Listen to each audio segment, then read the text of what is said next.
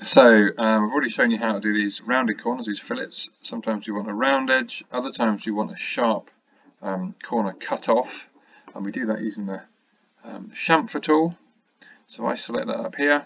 Um, same as before, you can either select a uh, an edge, which will put a chamfer on an edge, or you can get rid of that because I don't want that one. You can select a whole face. So you can have face or an edge. You can choose or remove it from here, and as before, you can change the size of it using that box there.